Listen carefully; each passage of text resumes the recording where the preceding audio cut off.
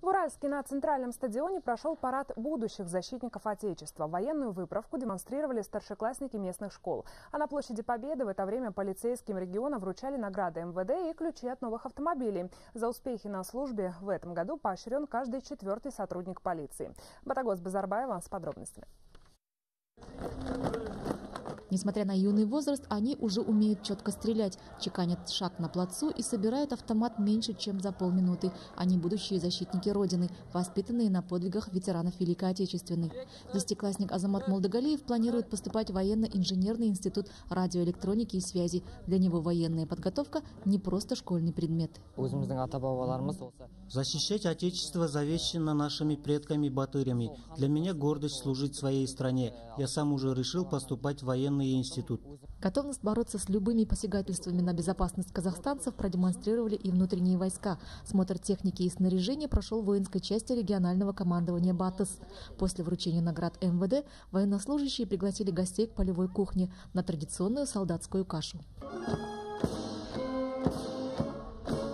На площади Победы чествовали сотрудников полиции. В области количество тяжких преступлений сократилось на треть, а убийств в два раза.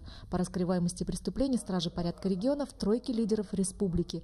Эти заслуги оценены. Сегодня спецподразделением полиции вручены ключи от 10 автомобилей, а в распоряжении криминалистов передана мобильная лаборатория стоимостью в 30 миллионов тенге. Имеется все необходимое для изъятия биологических, химических видов э, объектов.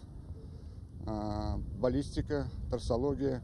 Имеется программа, вот, программа «Образ», программа трассология по следам обуви и также установлена программа а, фоторобот. За особые заслуги несколько сотрудников получили ключи от служебных квартир, а новобранцы в канун праздника приняли присягу. Сегодня я дал присягу, торжественно поклялся, что буду служить своей республике, добросовестно служить. Э, наша, наша служба, конечно, нелегка, но я уверен, что это мое призвание с детства. Призвание служить в рядах внутренних дел, осуществлять правопорядок. Завершилась праздничная церемония военным парадом.